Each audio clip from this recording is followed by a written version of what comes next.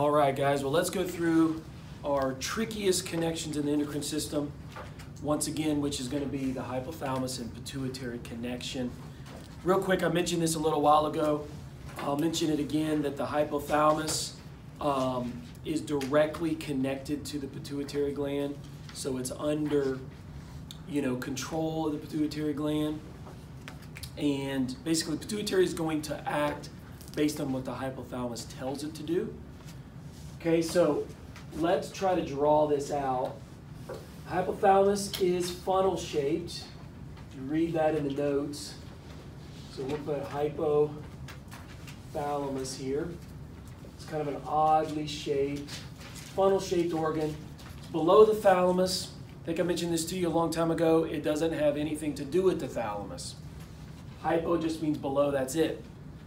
Thalamus was you know, part of the, the sensory pathway. It's a relay center. It Has nothing to do with the endocrine system. This is in the endocrine system. So that's our hypothalamus. We're going to draw a little connection here. This is going to be our pituitary gland, which is directly connected to it. And we're going to try to draw all this out here. So here's our hypothalamus again. We're going to kind of try to separate this because it is separated.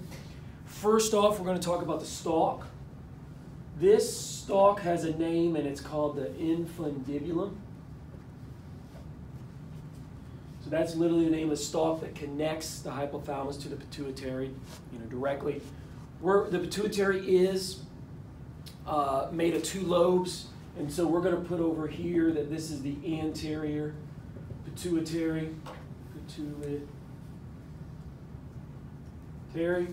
And then over here, we're just going to make this the posterior pituitary. Okay.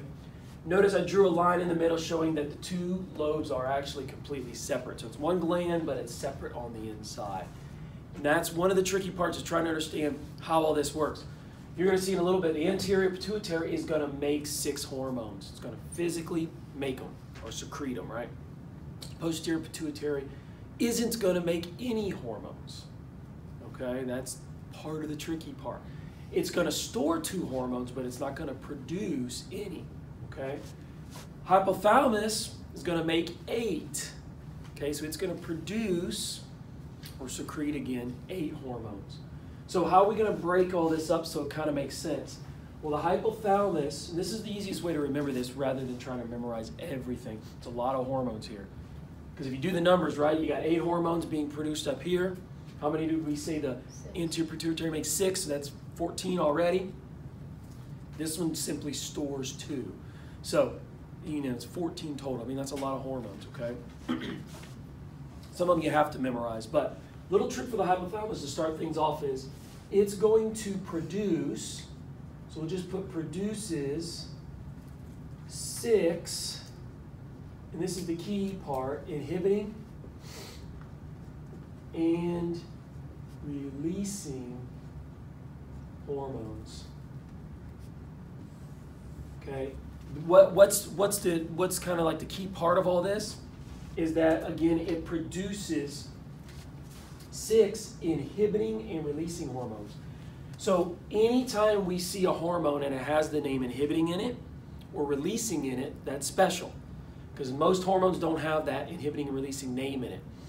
If it has that name in it, it'll be like growth hormone inhibiting hormone or gonadotropin releasing hormone. It's got that word releasing or inhibiting in it, right? That tells us it comes from the hypothalamus. That's the trick. If it's abbreviated, it'll be like GnRH. The R is releasing, right? So all these inhibiting and releasing hormones come from the hypothalamus. They're produced in the hypothalamus, and this is going to be part of the key part. They are going to be produced by the hypothalamus. They're going to go through our infundibulum. We're going to talk about what part of the infundibulum they go through. They go through a special portal system. Okay? They're going to pass through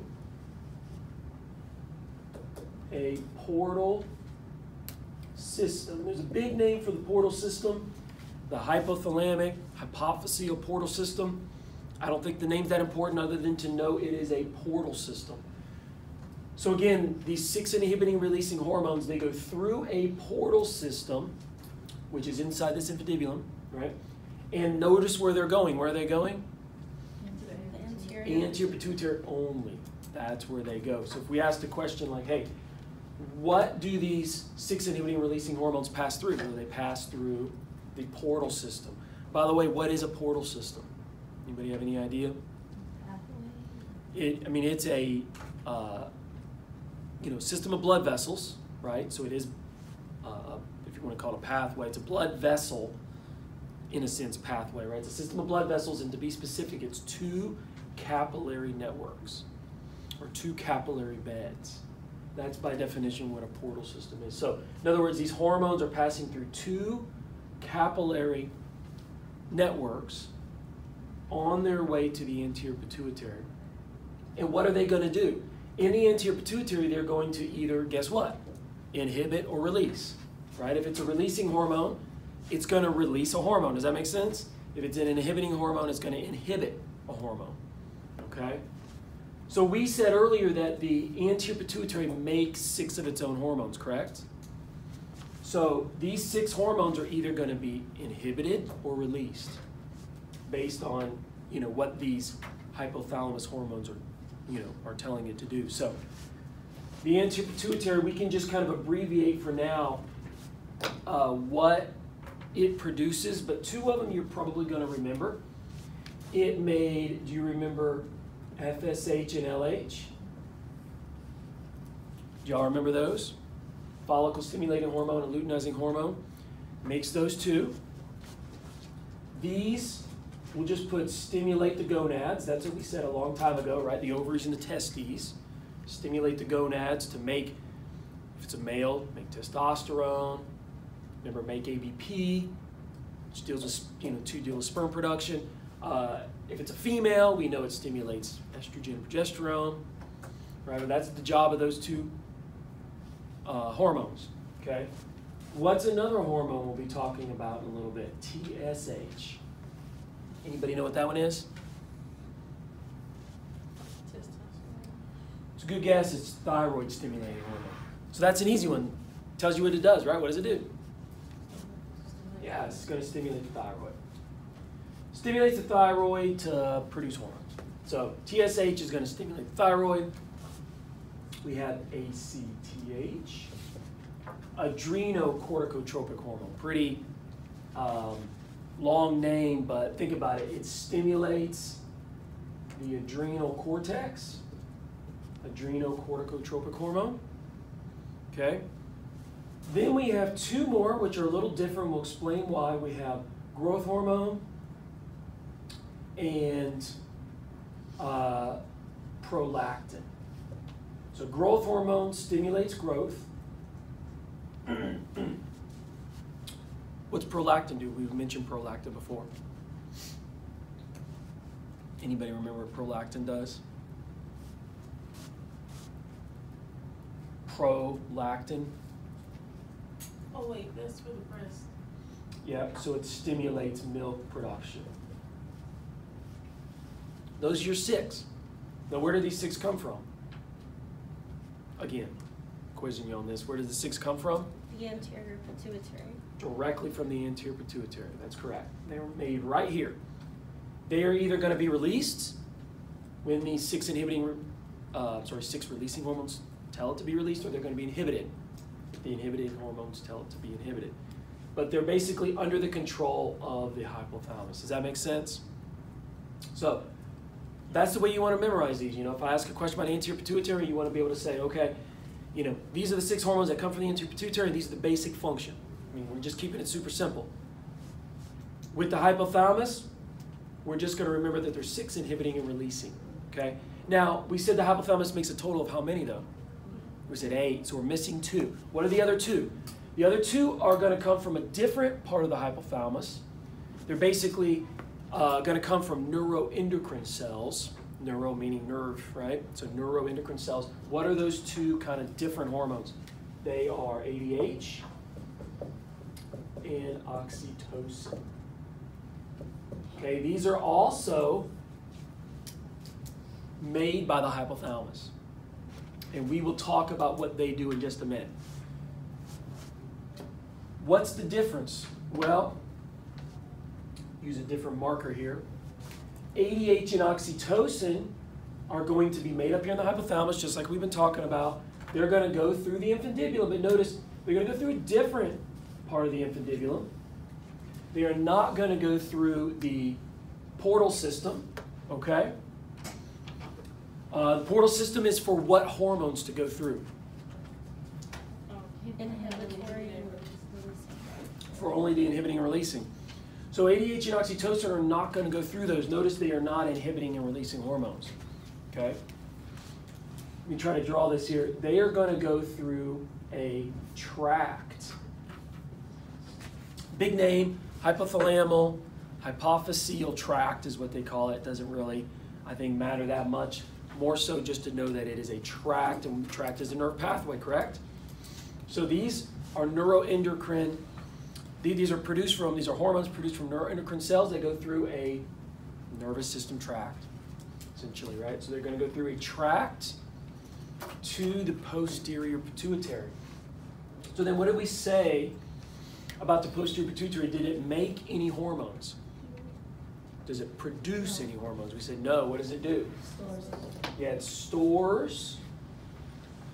Obviously, these two. So all these two do is travel through the tract and basically get stored and, of course, released when necessary by the anterior pituitary. So all we're going to say about, I'm sorry, by the posterior pituitary. So all we're going to say about this posterior pituitary is that it stores and releases ADH and oxytocin. What do ADH and oxytocin do? Well, ADH stands for anti-diuretic hormone. If, if a diuretic makes your body release water, right, lose water, what does anti-diuretic do? Yeah, so it's water retention. And it has a blood pressure raising effect on the body. So it retains water in the body. If you have a problem with ADH and you're under producing ADH, you're going to urinate like crazy. Okay, because your body's going to lose water. What ADH does is it basically makes the kidneys hold on to more water. It has a blood pressure raising effect. Okay, so you can remember those two functions. Oxytocin, if you remember, uh, does a few things. Deals with labor contractions, right? We talked about that before. And we also said that it deals with milk ejection during breastfeeding. Not milk production, that's over here prolactin. This is milk ejection. So, what in the world does it do for a man? A man, it deals more with like the sexual uh, response, libido, um, uh, climax, things like that.